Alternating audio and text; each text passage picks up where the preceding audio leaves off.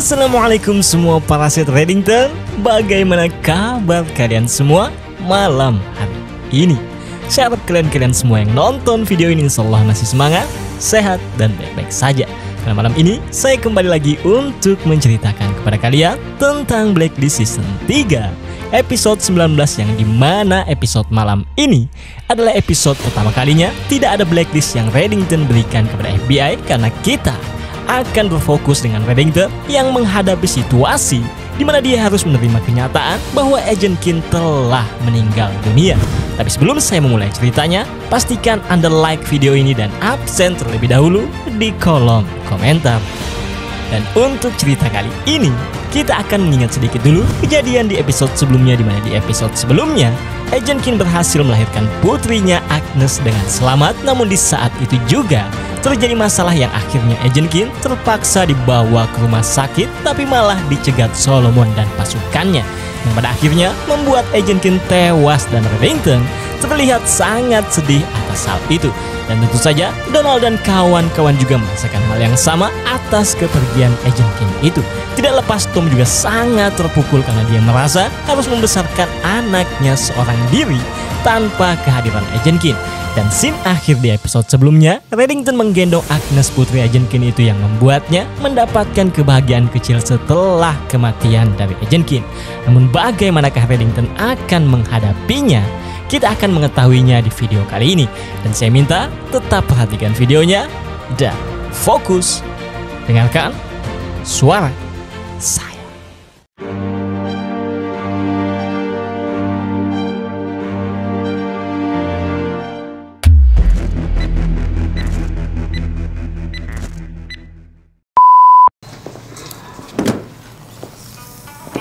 Cerita dimulai di mana seorang wanita tua membangunkan Reddington yang sedang tertidur itu.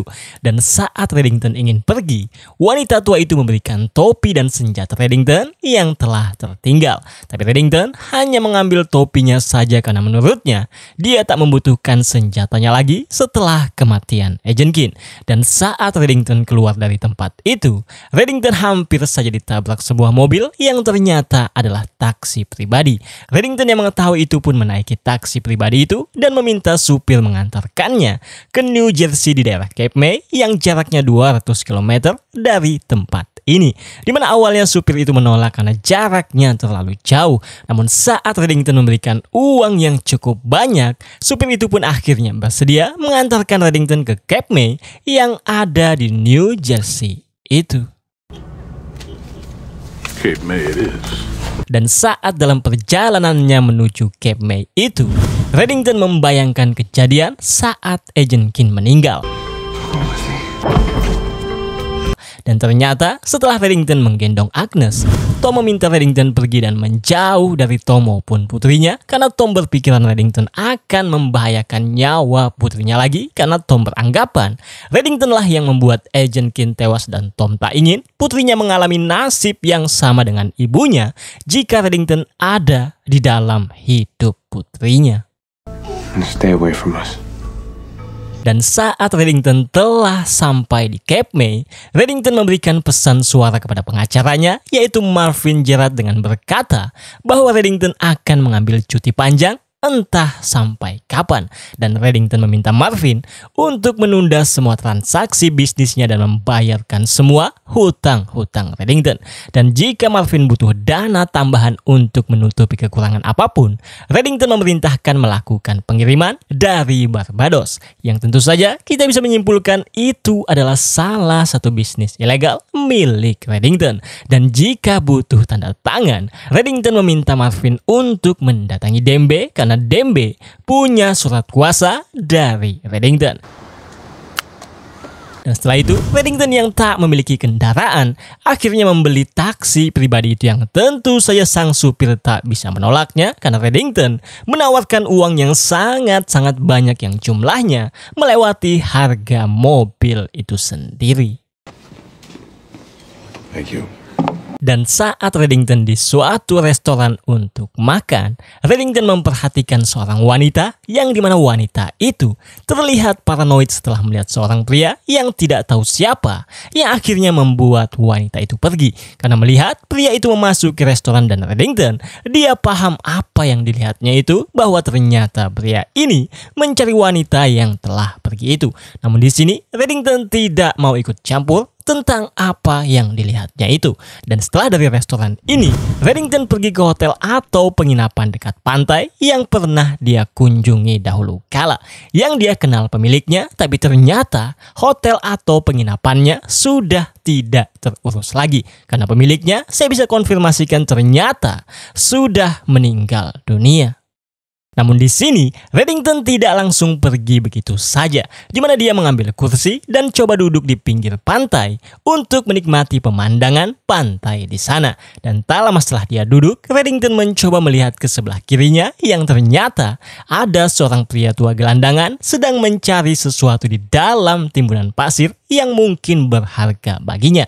Sementara saat Reddington melihat ke arah kanannya, dia melihat wanita yang tadi dia lihat di restoran itu. Awalnya, Reddington tidak terlalu memperdulikannya. Namun lama-kelamaan, Reddington memperhatikan wanita itu melepaskan kalung yang di mana setelah itu, wanita itu berjalan ke arah laut dan Reddington akhirnya paham bahwa wanita itu ingin bunuh diri.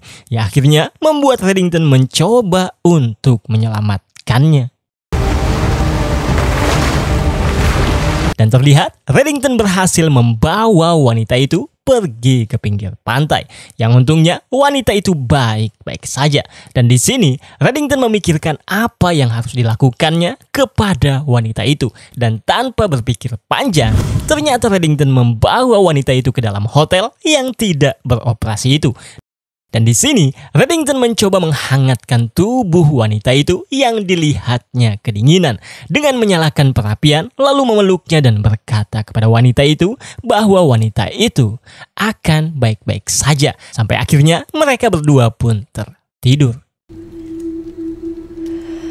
Dan setelah beberapa jam, Reddington terbangun dan melihat wanita yang bersamanya sudah tidak ada di sampingnya. Yang akhirnya, Reddington pun mencarinya dan menemukannya di kamar atas sedang melihat keluar jendela dan berkata kepada Reddington bahwa ada seseorang di luar dan dia datang untuk membunuhnya. Stay away from the window. Namun saat Reddington memeriksanya dengan hati-hati sambil membawa kapak, inilah yang terjadi. Yang di mana ternyata itu hanyalah payung tua yang terjatuh dari atas. Tapi tak lama setelah Reddington masuk membawa payung yang rusak akibat dikapak oleh Reddington itu, kita diperlihatkan seorang pria yang tadi kita lihat di restoran mencari wanita yang bersama Reddington itu. Namun siapakah pria ini dan wanita yang ada bersama Reddington? Kita tunggu saja di scene yang mengungkapkannya. Rice is just right. Kemudian kita melihat Reddington makan malam bersama wanita itu, tapi hanya Reddington yang makan, tidak dengan wanita itu di mana wanita itu hanya menemaninya saja. Dan di sini Reddington mengajukan pertanyaan kepada wanita ini tentang siapa dirinya, tetapi wanita itu tidak mau memberitahu Reddington apa pun tentang siapa dirinya. Dan sebaliknya, wanita ini malah bertanya kepada Reddington apa yang sudah membawa Reddington ke tempat ini, di mana Reddington menjawabnya dengan menceritakan sebuah cerita bahwa ada seorang wanita dan anaknya keduanya telah dikutuk. Reddington hanya bisa menyelamatkan satu dari mereka dan Reddington memilih anak dari wanita itu karena Reddington berpikir jika dia bisa mengasuh dan mengajari anak itu dia akan aman dan bahagia. Tetapi yang Reddington bawa hanyalah kesengsaraan dan akhirnya kematian. Begitulah cerita yang Reddington sampaikan dan dalam cerita itu saya bisa mengambil kesimpulan bahwa anak dan wanita dalam ceritanya tadi adalah agent Kin dan ibu kandungnya. Di mana Reddington pernah mendapatkan pilihan sulit antara menyelamatkan Agent Kin atau ibunya Katarina Rostova. Tapi Reddington akhirnya memilih untuk menyelamatkan Agent Kin. Namun yang pada akhirnya Reddington hanya membawa kematian kepada Agent Kin. Dan tak lama setelah ini, sebuah kaca jendela terdengar pecah yang di mana Reddington yang mengetahui itu mencoba mengeceknya. Sampai dia tiba di kamar mandi di mana setelah dia sampai di kamar mandi itu, inilah yang terjadi. Behind you. Pria yang mengikuti wanita misterius itu mencoba menyerang Reddington. Tapi yang pada akhirnya wanita itu membantu Reddington dan akhirnya membunuh pria yang mengikutinya itu. Dan setelah pria itu tewas, Reddington mengambil ponsel milik pria itu dan membersihkan TKP-nya. Dan setelah ini, Reddington mendatangi wanita itu yang terdengar sedang memainkan piano. Di mana di sini terjadi lagi percakapan di mana wanita ini bertanya kepada Reddington apakah Reddington pernah mengampuni orang yang pantas untuk mati di mana dia menjawab dengan berkata bahwa ada seorang wanita yang Reddington sayangi, di mana wanita itu adalah hidupnya, hatinya, tapi dia telah meninggal. Dan wanita itu meninggalkan seorang gadis kecil yang bisa kita simpulkan bahwa itu adalah Agnes Putri Ejenkin, bagian berharga dari Ejenkin. Dan Reddington menyampaikan dia akan memberikan apa pun untuk menjadi bagian dari hidup Agnes. Tapi seorang pria yang maksudnya Tom menegaskan bahwa dia tak boleh menemuinya memeluknya, dan melihatnya tumbuh.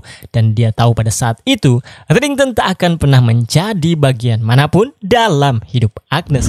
Karena pria yang meminta Reddington menjauh adalah ayah Agnes itu sendiri. Dan jika Reddington menyakiti ayahnya, maka secara tidak langsung Reddington akan menyakiti Agnes juga. Karena ibunya sudah tiada. Dan sekarang di dunia ini Agnes hanya mempunyai ayahnya. Dan itulah jawaban Reddington atas pertanyaan wanita ini yang bertanya apakah Reddington pernah mengampuni orang yang pantas untuk mati. Because He was her father. Dan tak lama setelah percakapan mereka ini, terdengar ponsel pria yang tewas tadi berdering di mana saat wanita itu mengangkatnya, terdengar anggota pria tadi sedang mencarinya. Di mana setelah mendengar itu, mereka menyimpulkan bahwa anggota yang tewas tadi akan segera datang. They're coming. Ya akhirnya Reddington pun mengambil mayat pria yang tewas tadi dan memasukkannya ke mobil yang ada di dalam garasi. Dan Reddington berencana untuk pergi. Tapi wanita ini menolak untuk ikut dengan Reddington karena dia akan tinggal dan akan melawan musuh yang sedang mencarinya itu. Dan di sini Reddington yang tahu niat wanita ini sebenarnya tinggal hanya untuk bunuh diri dengan melawan musuh yang akan datang itu. Reddington mencoba menasihati wanita ini dengan menceritakan sebuah cerita yang intinya bunuh diri itu adalah perbuatan yang sangat egois. Sampai akhirnya wanita itu menangis dan akhirnya menceritakan kepada Reddington bahwa dia juga mempunyai seorang anak yang telah dirawat oleh orang lain. Tapi wanita ini mengetahui selama dirinya masih hidup, nyawa anaknya akan dalam bahaya. Dan Reddington yang mendengar itu akhirnya memutuskan untuk tinggal juga dan membantu wanita ini melawan musuh yang akan datang itu. They go. I can't. Di mana sebelum kedatangan musuhnya itu, mereka terlihat menyiapkan jebakan untuk bertahan hidup. Dan setelah Reddington melihat mobil musuhnya datang, Reddington berkata kepada wanita ini bahwa dia belum tahu siapa nama wanita ini. Namun inilah jawaban wanita ini atas pertanyaan Reddington itu. I don't know your name. Don't be ridiculous, Raymond. Yang di mana dari jawaban wanita ini, kita bisa menyimpulkan bahwa wanita ini seperti mengenal Reddington. Dan akhirnya, dengan kerjasama mereka dan jebakan yang mereka sudah siapkan, mereka berhasil membunuh para musuhnya itu. Dan terlihat, wanita ini juga sangat ahli dalam membunuh yang mungkin kita bisa asumsikan bahwa latar belakang wanita ini mungkin adalah seorang pembunuh. Dan untuk Reddington, dia juga terlihat berhasil membunuh musuhnya. Hingga pada akhirnya tinggallah satu musuh yang di mana musuhnya itu mencoba memancing Reddington. Dan Reddington terpancing dengan suara yang dibuat oleh musuhnya itu. Dan kemudian inilah yang terjadi. Wanita ini berhasil membunuh pria yang ada di belakang Reddington itu. You get the car. Dan saat pagi tiba, Reddington mencoba mengecek mobil yang di garasi itu, tapi dia cukup terkejut karena tak menemukan mayat yang dia letakkan semalam. Dan saat memasuki hotelnya, terlihat juga sangat-sangat bersih seperti tak pernah terjadi insiden. Dan bahkan tidak ditemukan mayat satupun. Namun saat Reddington melihat keluar jendela, terlihat wanita misterius itu berjalan ke arah laut yang di mana Reddington menyimpulkan bahwa wanita itu ingin bunuh diri lagi. Dan saat Reddington mencoba mendatanginya, ternyata wanita itu telah menghilang. Dan Reddington cukup bingung dibuatnya yang akhirnya bertanya kepada pria tua ini apakah dia melihat ada wanita berjalan ke arah laut. Yang di mana pria ini menjawab bahwa dia tidak melihat ada wanita sama sekali dan ia mengejutkan. Pria ini berkata bahwa selama dua minggu dia di pantai ini, satu-satunya makhluk hidup yang dia lihat adalah Reddington. Dan di sini pasti kalian cukup bingung dibuatnya atas apa yang telah kalian lihat sampai saat ini dan apa sebenarnya yang terjadi.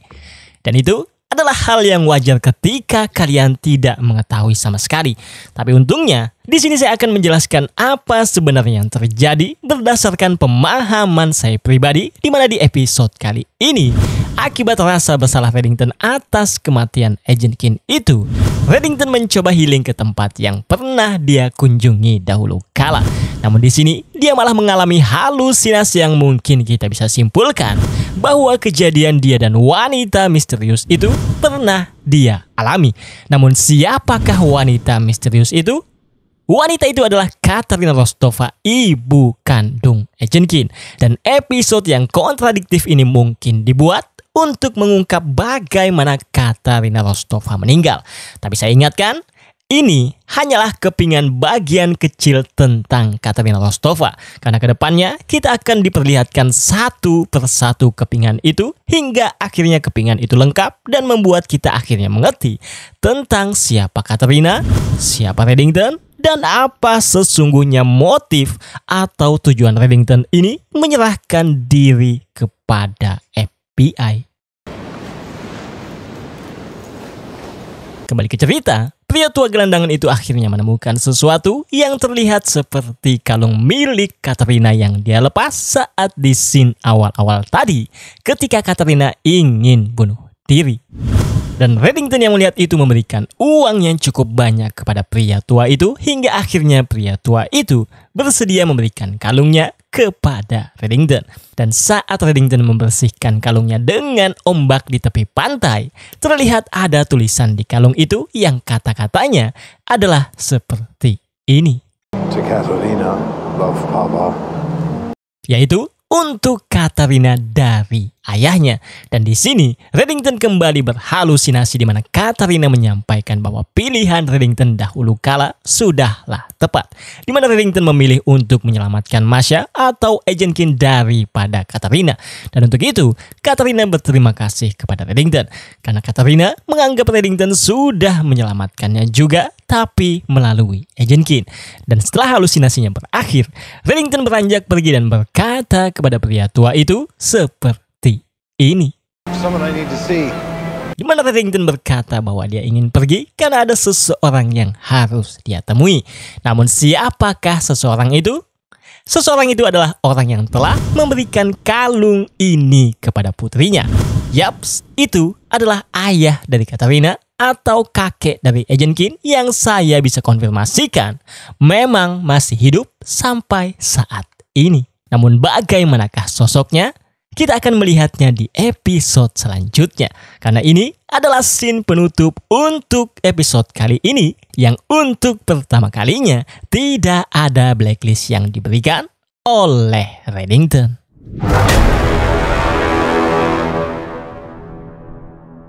Terima kasih buat kalian yang sudah mendengarkan saya hingga akhir video. Seperti biasa, silahkan like video ini dan subscribe bagi kalian yang belum sebagai dukungan kalian terhadap saya. Dan jika sudah, saya selaku pembawa cerita, pamit untuk undur diri. Dan insya Allah, kita akan bertemu lagi di cerita selanjutnya. Selamat sore, Reddington. Assalamualaikum.